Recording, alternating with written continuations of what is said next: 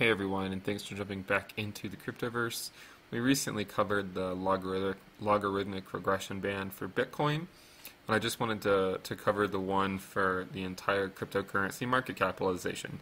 Uh, I know people were asking for this.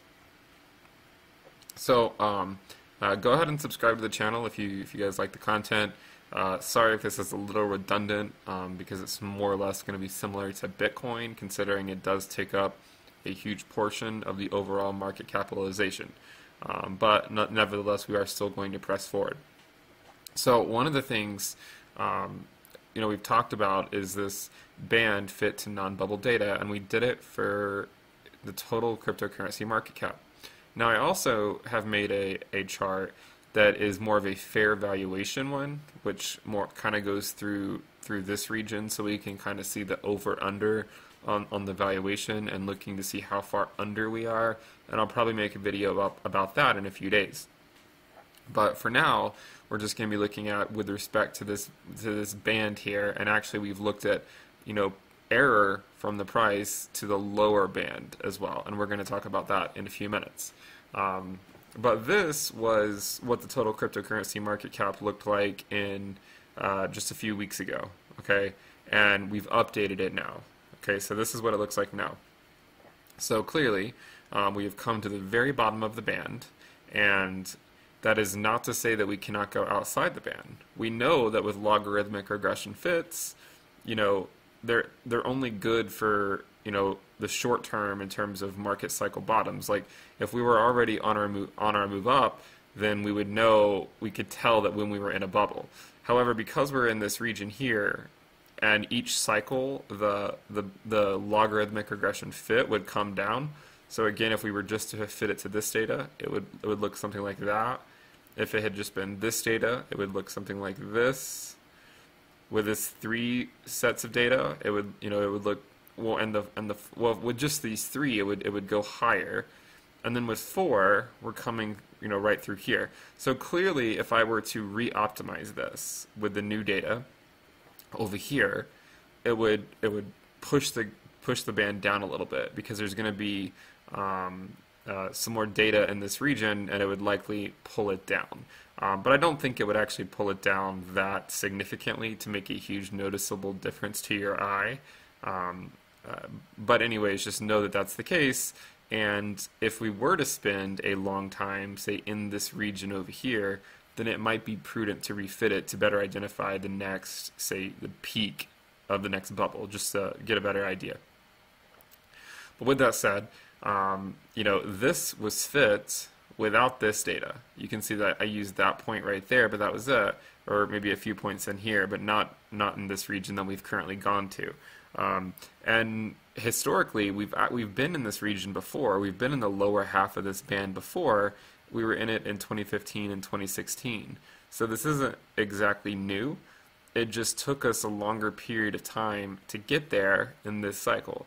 Um, and you know, I'm not going to speculate, or I, I, will, I will speculate, I guess. Um, you know, there's a chance we could easily fall below this band. I'm not saying we can't by any means. Uh, the, the point is to just show the macro level picture of seeing that we have been in the lower part of the band before um, and spent a long time there.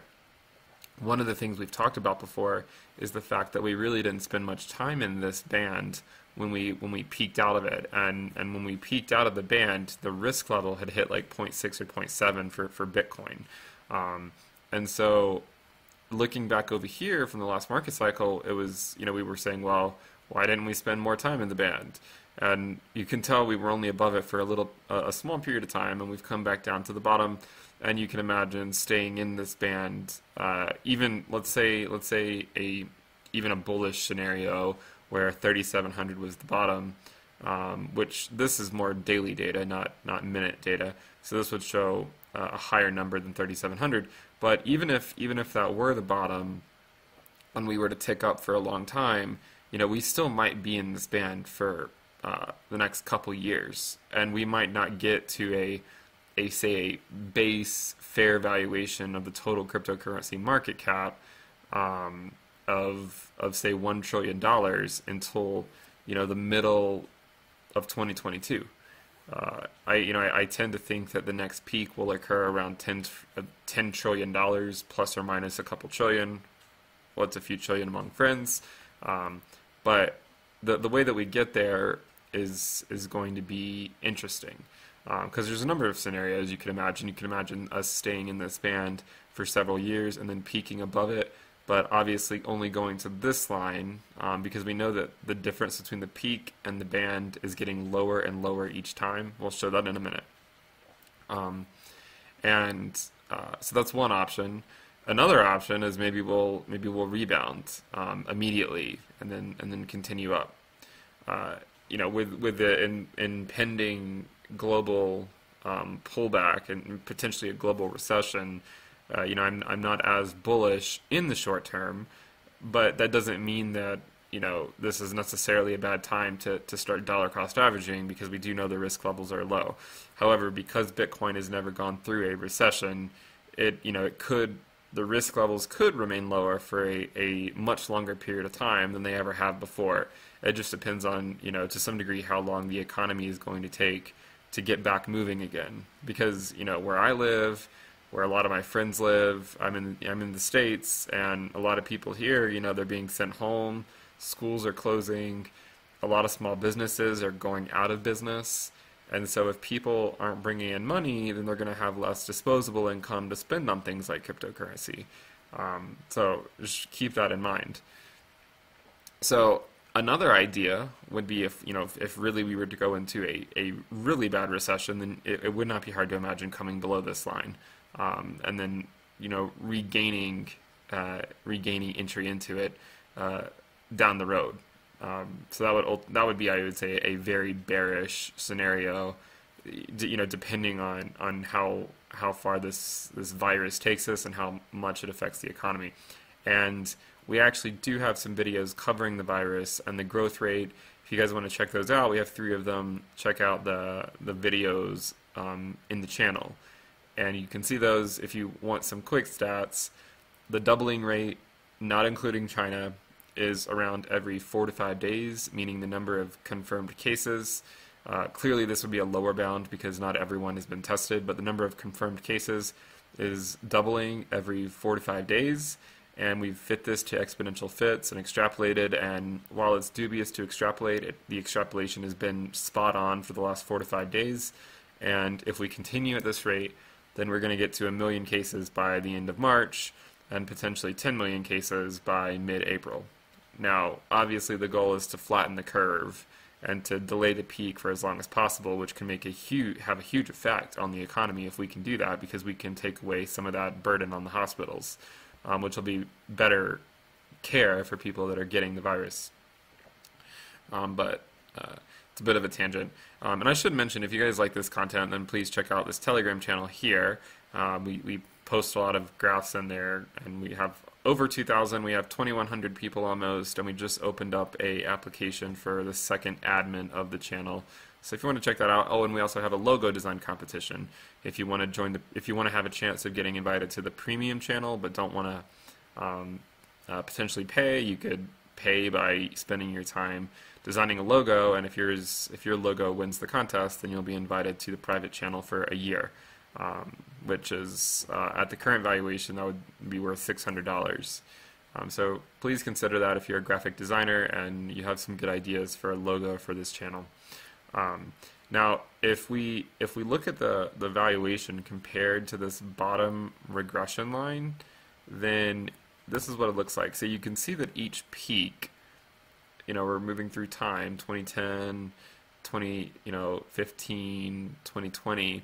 Each peak is getting lower and lower, meaning each time that we peak here, we're getting closer and closer to the to the bottom of the band. So the volatility on a macro scale is decreasing clearly we've had days where the volatility is still high. I mean, we had a 50% loss in one day with Bitcoin. Uh, well, by the end of the day, it wasn't quite 50%, but we, we've seen levels of volatility um, recently that we hadn't seen in a long time in a single day. But we're talking about macro level volatility. Um, we would expect the next peak to be closer to the band.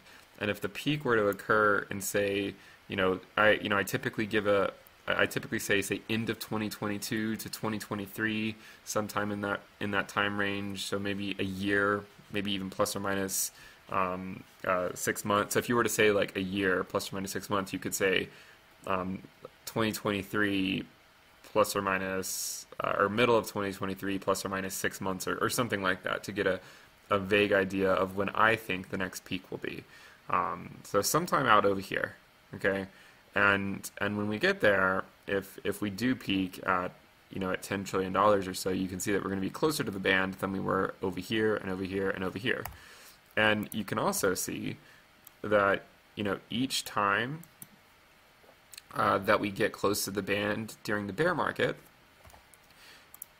if we go back, you can see we get to within say 1% here. If you were to zoom in, it actually goes slightly below it. Um, so even you know even over here, we actually have gone slightly below this tolerance region.